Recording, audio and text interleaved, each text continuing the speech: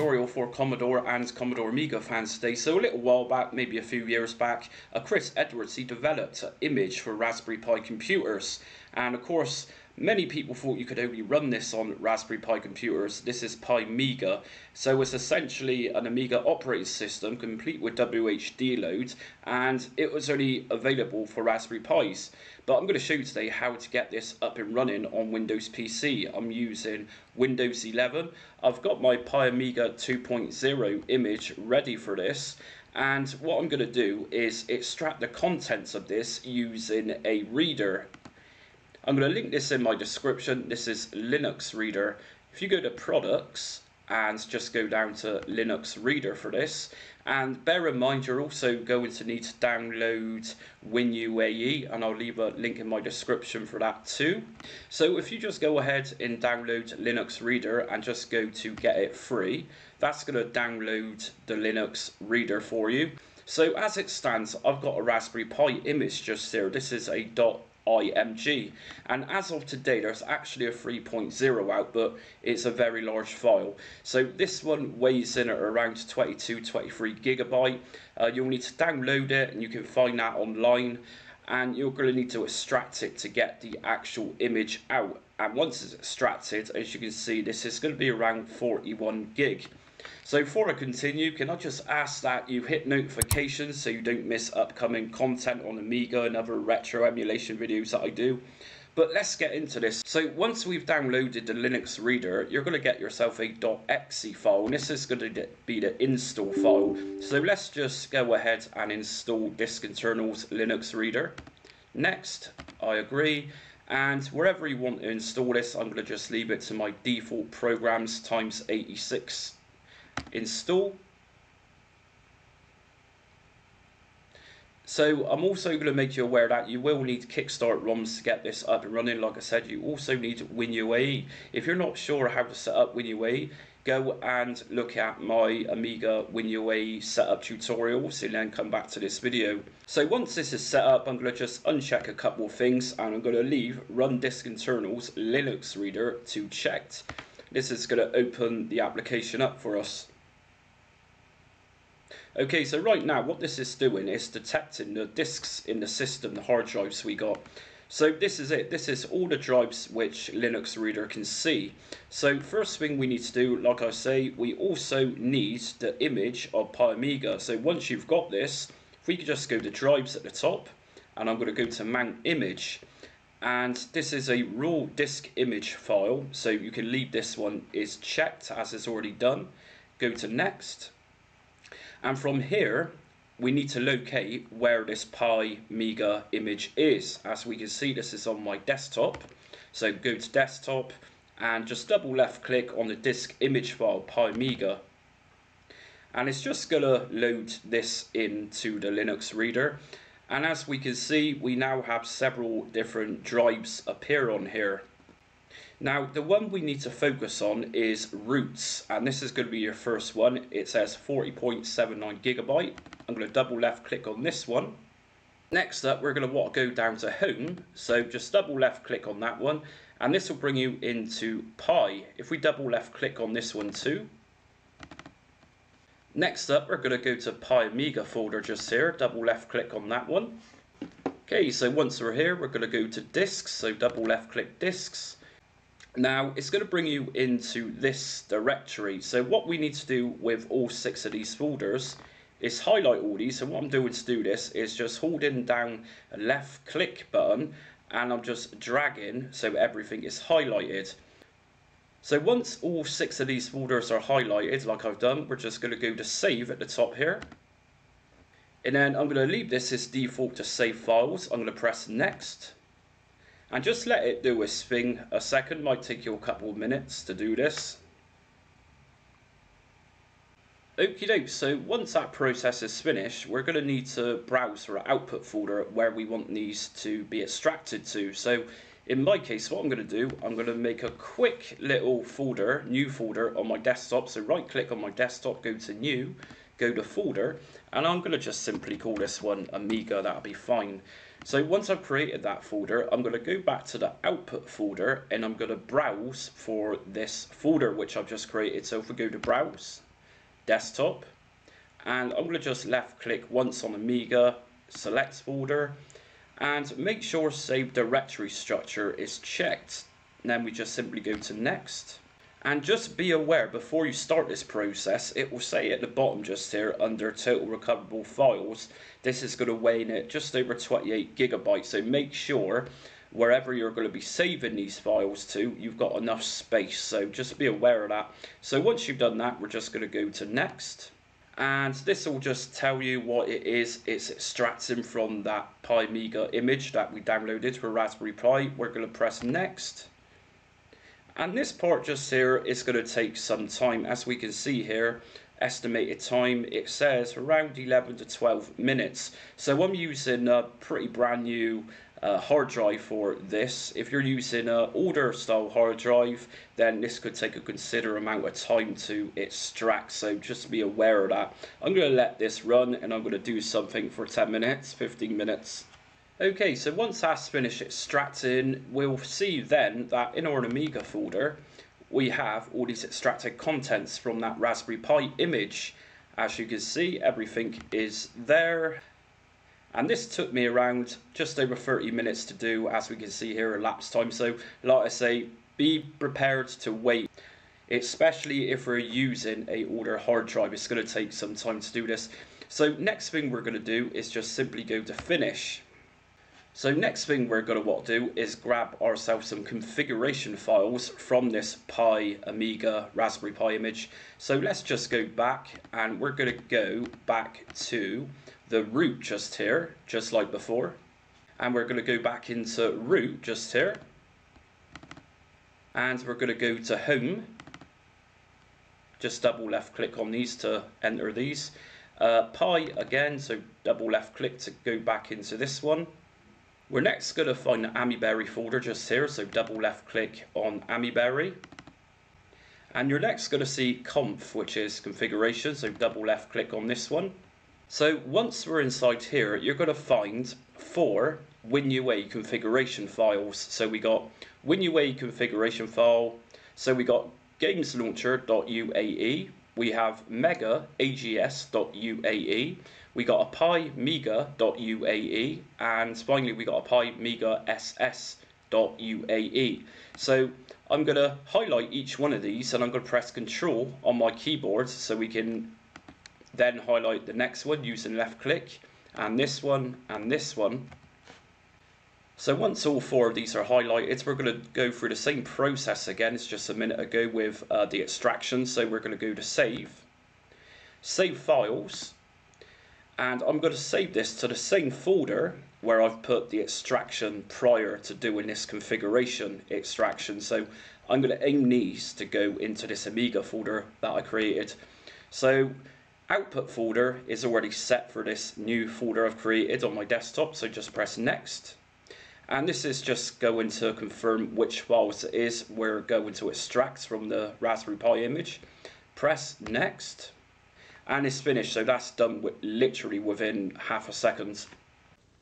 And we got another one to extract from the Raspberry Pi image, so let's go back to the root of Disk Internals Linux Reader, go back into Roots, we're then going to go to Home, Pi, and then go to Pimiga and HDF. And these two just here is the ones we want. So just highlight both of these and go to Save, Save Files, Next. And output folder is going to again go into this Amiga folder I've created on my desktop. So press Next. And this is just to tell you that these are the files you want. So Next and just give it a few seconds to extract into our Amiga folder. So once this is done, just press finish and we can now close down Linux Reader. So close that down and yes.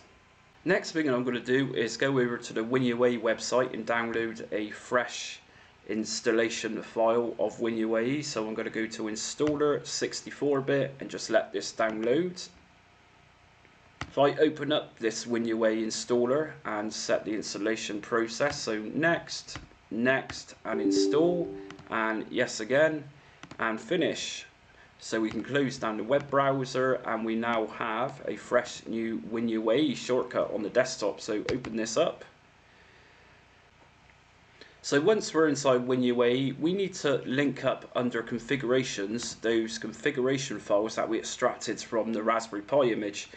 So to do this, what we're going to do is go to load from and locate those configuration files from the Raspberry Pi image, which is under desktop, Amiga, and here we go. So we got four of them. So we got Games Launcher, which I'm going to select first. I'm going to press Open, and I'm going to go to Save As, and I'm going to file name this one Game Launcher. .uae and save. And as we can see this is now added to the configurations menu. And I'm going to go for a new one. So load from desktop Amiga. And the next one is going to be Mega AGS so double left click on this and save as Mega AGS.uae save. And load from again back to the Amiga folder desktop Amiga and pimiga.uae and we want to save this one as pimiga.uae and save. And the last one is going to be desktop again amiga. And finally pimiga ssuae save as. Save. And that's all that sorted out for now. Next thing we're going to need to do is go to CD and hard drives. Now you're going to find these have already got paths. So we need to change these because these are heading towards a directory which don't exist. So let me show you what I mean. First of all, we're going to go to System, highlight it, and if I go to Properties, I'm going to go to Select Directory, and I'm going to aim this at where these folders are actually located, which is on my desktop in my Amiga folder. So select directory, and there's my Amiga folder. If I just go to System and select folder, OK. And again for demos, if I just left click on that to highlight it, properties, and select directory, desktop, Amiga, and this one's to be demos, select, and OK. Games, properties, select directory, desktop, Amiga, and we want our games folder selected. OK. Work, properties, select directory, Amiga, work, select folder, OK, and finally audio, which is properties, select directory, Amiga and audio. Select folder, OK. Now obviously under your ROM tab you're going to need to have a Kickstart ROM and you can grab this from Amiga Forever which I highly recommend so make sure uh, this is set up for Kickstart ROM 3.1 which was the last Kickstart image that uh, Commodore produced so what I'm going to do next is just go to back to configurations and highlight Pimiga and I'm going to save. Now let's open this. So if I double left click on Pimiga and there we go. So we just booted in to the Pimiga using Windows 11. When this baby hits 88 miles per hour, you're gonna see some serious shit. So yeah, you get a nice little greeting. And this is it. So this is a really nice looking Amiga operating system, which was supposed to be designed for a Raspberry Pi, but then you get uh, people messing around with things. And we got this running on Windows 11. So let me give you a little tour around this. So yeah, it's got WHD installed. If I go to iGame, which is the quickest way to get up and running playing your games, I've got lots of games here, so I'm going to just select Cannon Fodder 2 double left click on it and just before it boots up before you press start just remember it's going to ask us to press F10 to quit out of it. So start.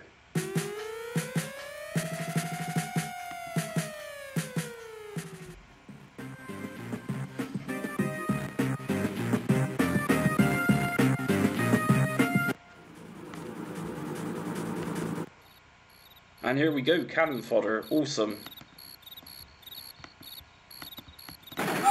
So obviously I'm using my cursor to uh, run this game. So anyway, let's press F10 and that's going to take us back out. Let's try another one, uh, Captain Carnage.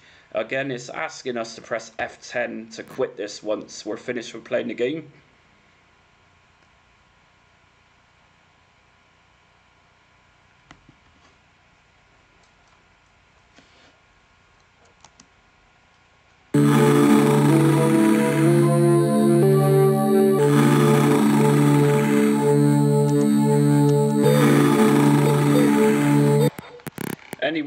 Picture. So what else have we got on here? We have got a couple of web browsers. We got NetSurf, which opens up, uh, providing you're connected to the internet, which I assume you are since you're watching this video. So NetSurf. We've also got Firefox by the looks of it, which takes you to AmiNet. So that's all good.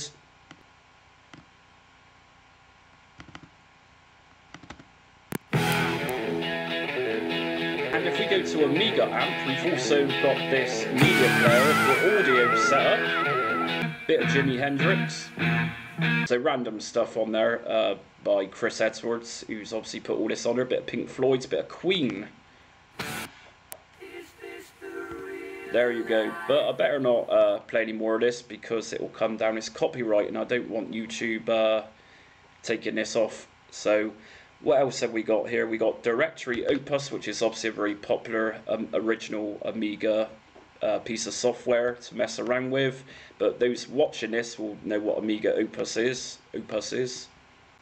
We also got iDemo, which is very similar to the iGame, where I just launched a couple of games. So demos is obviously going to be from the demo scene. So let's check this one out. So 2 Unlimited and start starting again, it's asking F10 to quit. So we got selection of demos in here as well.